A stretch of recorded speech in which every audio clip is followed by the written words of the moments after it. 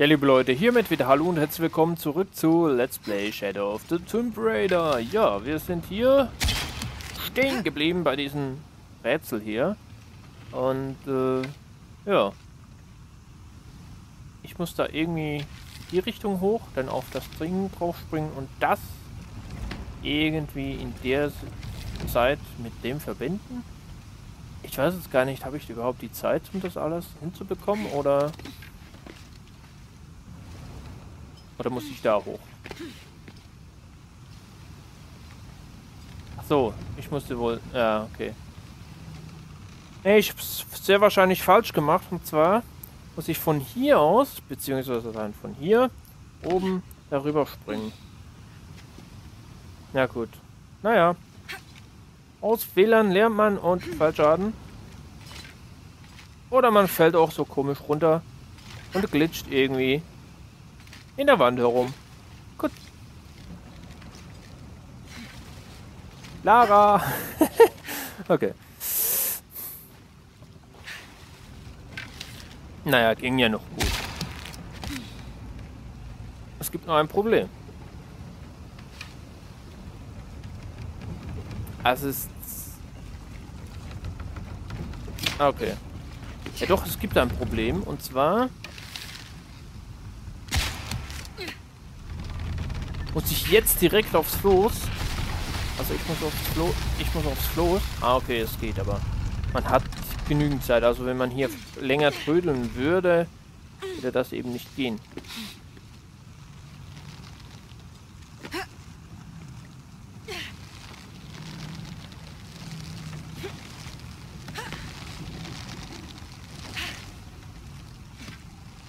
Jawoll. Und wofür das Ganze? Für so ein... Für sowas hier. Wer immer es war, hier bestattet zu sein, ist eine Ehre. Erhöht Chancen, Feinde mit Nahkampfangriff niederzuschlagen. Okay. Und für das haben wir diesen blöden, kompletten Aufwand. Ja gut, das Gold. Ich denke für das Gold. Hä? Achso, hier kommt man schneller raus, oder was? Oh, die Strömung interessiert mich ja überhaupt rein gar nicht. Und auf der anderen Seite? Kann ich nicht. Hier vielleicht noch was?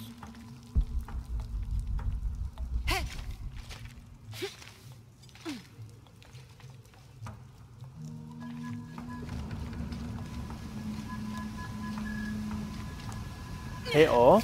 Ach so.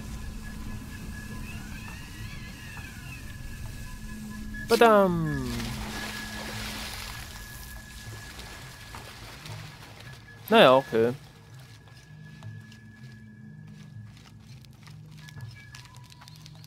Habe ich vielleicht noch was?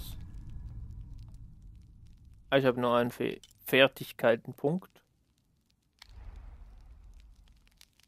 Aber war kurz, das habe ich erhalten hier, oder? Na, Kampfangriff hat äh, eine höhere Chance, bla bla bla, auf eine niederzustrecken.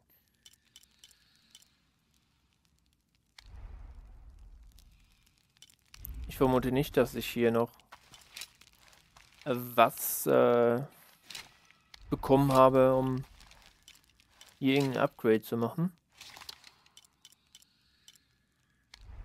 Ja, es sind einfach diese Muttern, Klingt immer komisch. Wer hat diesen Namen erfunden?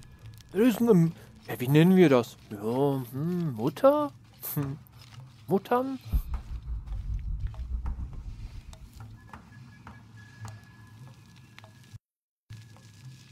Die Frage ist, wie kommen wir eigentlich zurück? Und wie schnell kann sie bitte schön das Ganze anziehen? Habe ich den... Den habe ich angeschaut.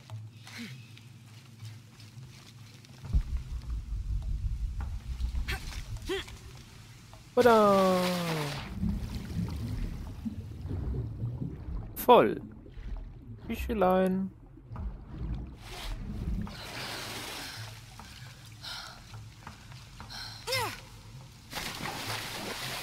Ja, ich dachte, ist nicht so eine Wand, wo man...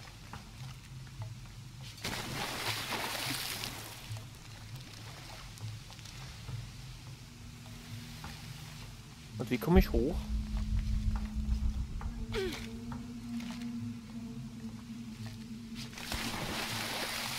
Oder gibt es hier was zum Schwimmen?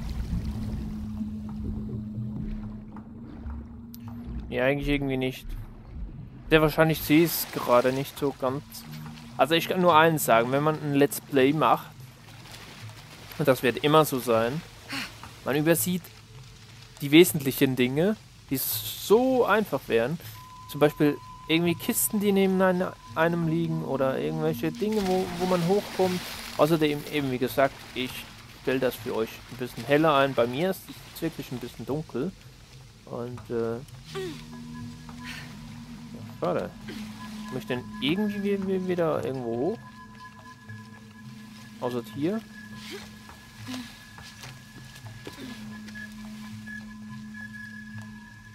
Ach so. Das wäre wahrscheinlich nicht springen dürfen. Wobei...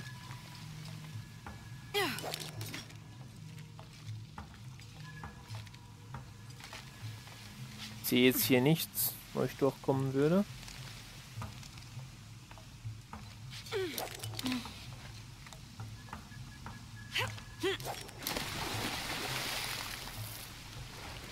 Irgendwie nicht. Das Dümmste wäre jetzt, wenn so fehlende Ausrüstung. wenn so steht, ich muss, äh, ich komme nur noch hoch, wenn ich die Ausrüstung hier habe. Aber wieso komme ich denn hier runter? Ach, jetzt kommt sie hoch. Jetzt auf einmal. Das ist wieder bei diesem komischen Kletter-Parcours äh, damals. Wenn ihr das Video nicht angeschaut habt, dann äh, könnt ihr es ja... Mann, Lara! Okay, ich habe zwar noch A gedrückt, aber egal. Ja, und ich meine das ab und dann... So, oder? Ach, sie muss hier irgendwie an der Wand abspringen? Okay, nice.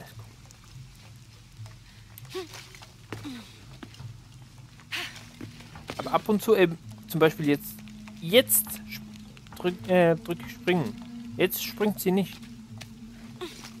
Warum habe ich nach oben gedrückt und sie springt einfach irgendwo hin? Finde ich ab und zu so ein bisschen seltsam. Ich das übersehen habe hier. Das scheint eine Art primitive Skulptur eines Menschen zu sein. Sieht aber lustig aus. okay, nice. Und dass das noch so erhalten ist? Blumen.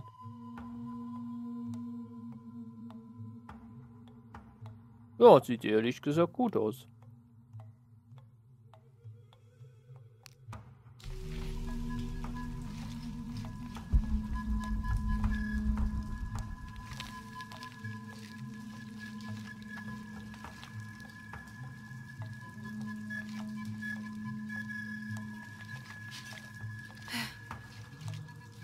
Ach ja, wir kommen ja von dem Wasser hier. Tauchen! Lara, tauchen! Irgendwo haben wir uns durchgezwängt, nur noch das weiß ich. Ja, genau hier wieder.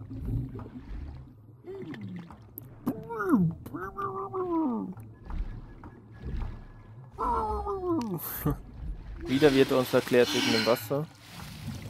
Aber das, ich glaube nicht, dass die Luft da unten wirklich frisch sein kann.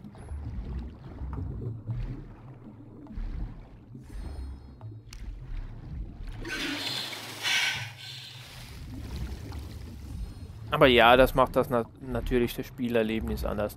Also auch wie immer diese Spiele mit Luftblättern und so, wo man durchschwimmen muss und dann bekommt man wieder Luft ich kann mir nicht ganz vorstellen, dass das im richtigen Leben funktioniert. So ganz. Für Fische, okay, ja. Aber für uns Menschen? Nee. Die würden Wasser verschlucken. So, wir sind wieder da und das hat kurz einen komischen Bildfehler bei mir gerade gegeben. Achso, nur für eine Millisekunde oder sowas. Ein Frame, sag ich mal. Hä?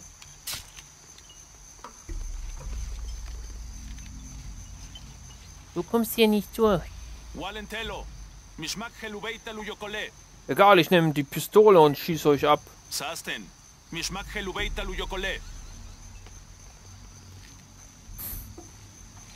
Ja cool. Dann halt eben nicht, dann halt auf die andere Art. Jetzt zwingen wir uns wieder hier durch und gehen auf die andere Seite. Ich weiß ja nicht, was hier unser Ziel ist. Wird überhaupt noch markiert, wo wir hier hin müssen? Ich glaube nicht. irgendwie nicht. Seit wir den falschen Weg gegangen sind. Das wäre jetzt das Dämlichste, was passieren könnte. Hä? Sie hat das Schriftstück sah so aus, als ist sowieso genommen. Ein Bericht von Trinity. Die Priester der Stadt oder die Schamanen, falls wir zwischen den Heiden und denjenigen unterscheiden wollen, die im Lichte Gottes wandeln, traten als Erste vor. Sie waren die Ersten, die zuhörten, um mehr über den Zustand der Außenwelt zu erfahren. Viele von ihnen fühlten sich daraufhin betrogen und flehten darum, getauft zu werden. Sie kamen völlig zu Recht zu dem Schluss, dass ihr Glaube und ihre Verehrung der traditionellen Gottheiten dieses Landes unangebracht waren. Einer von ihnen formulierte es folgendermaßen. Wenn euch euer Gott vom anderen Ende der Welt bis hierher geführt hat, muss er wahrlich der Mächtigste sein, und nur ein Narr würde sich nicht vor einer solchen Wesenheit verneigen. Wir werden diesen Schamanen Englisch beibringen, damit sie es anschließend die Bewohner von Paititi lehren können.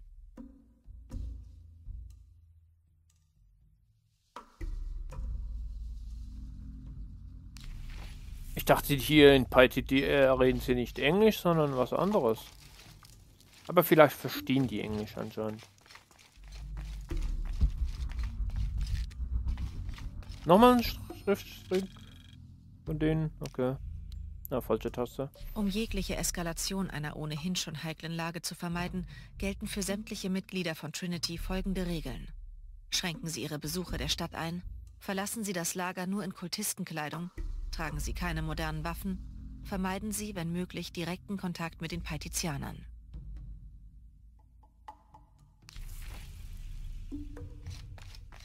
Naja, dieses, diese Schriftstücke, die hier einfach komischerweise immer überall herumliegen. Was passiert eigentlich, wenn ich hier runterfalle?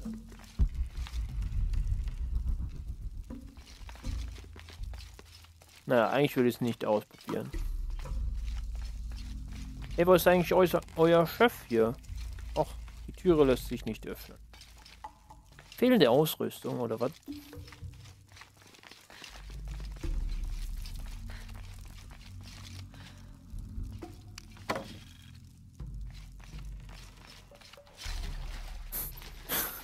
Einfach ins Wasser und dann so, so komische Dinge wieder. Eine weitere Gruppe Kinder ist per Dampfer aus Kahn unterwegs. Behaltet von den zehn, die ich geschickt habe, bitte vor allem einen Jungen namens Amaru im Auge. Er ist von allen am vielversprechendsten, zeigt jedoch Anflüge von Missmut und beklagt sich häufig, er würde seinen Bruder vermissen. Ich schlage vor, dass ihr für ihn einen speziellen Lehrplan erstellt, so dass er zu beschäftigt ist, um Heimweh zu haben. Er heißt das, er kommt gar nicht von hier? Oder habe ich da was falsch verstanden? Was bitteschön können wir jetzt tun?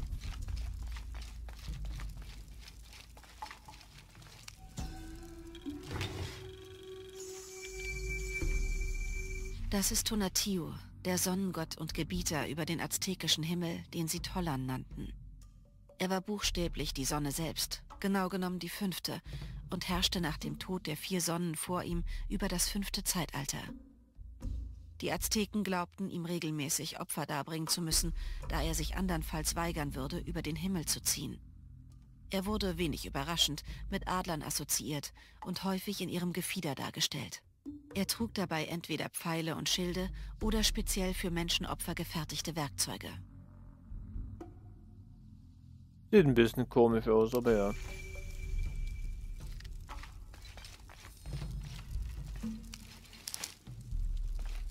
So, wir springen trotzdem mal runter. Einfach, weil wir es können. So, oh, jetzt könnte ich meine Dinge äh, aufrüsten. Oh, hier gibt es wirklich was. Die Gemahlin von Inti, Tochter von Viracocha und Mutter der Gründer des Inka-Reiches. Vermutlich ein weiteres Artefakt, das der Kult von den Bewohnern Paititis erpresst hat.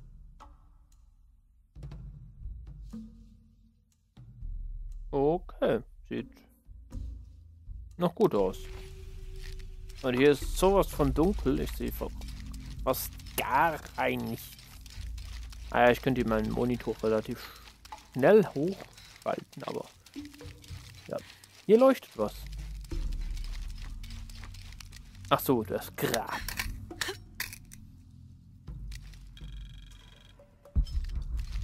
Wie komme ich hoch? Einfach hochspringen? Okay. Oh, noch mehr. Und die hier immer diese komischen Tränen, sage ich mal. Oder Wassertropfen oder was auch immer das darstellen soll. Oh. Jetzt runtergefallen.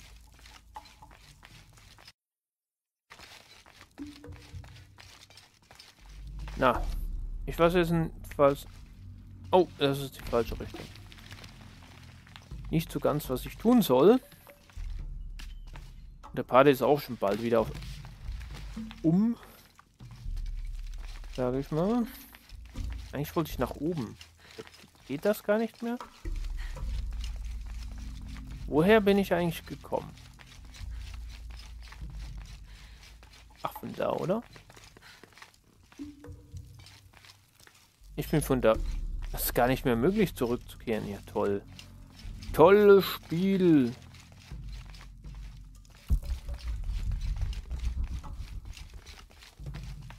Nochmal so ein komisches Ding. Kukulkan gebot mir, mich der Priesterschaft anzuschließen. Die Götterwelt der Paitizianer ist ein Konglomerat verschiedener Kulturen. Ich muss ihre Rituale und ihren Glauben studieren, um herauszufinden, wie wir ihre eigenen Götter gegen sie einsetzen können. Jene, die über das Wasser kamen, sind unaufrichtig und intelligent. Ich zweifle nicht daran, dass die Stadt schon bald unter der Kontrolle von Kukulkan vereint sein wird.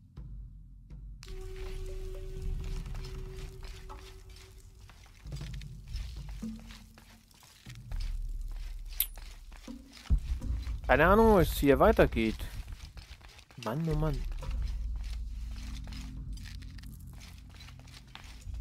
Sehr wahrscheinlich irgendein Raum, den ich noch nicht betreten habe. Irgendetwas, das ich vergessen habe.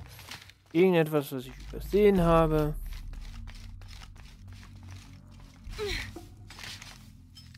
Und wir sind wieder unten.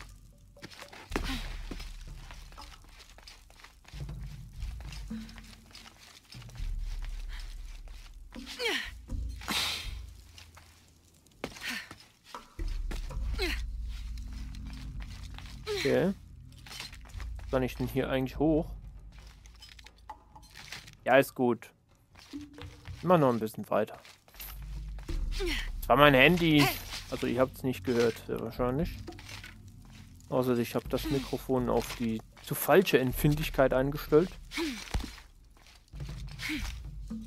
Dass nicht auffällt, hier einer rüberklettert. Die sagt auch gar nichts, wo wir hin müssen. Das finde ich eben das Problem. Fällt hier... Hä?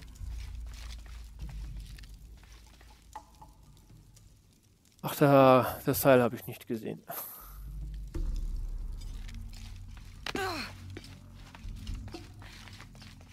Also es gibt eigentlich nur eine Möglichkeit und zwar können wir nur hier hin. Ich weiß aber nicht, was wir hier tun sollen.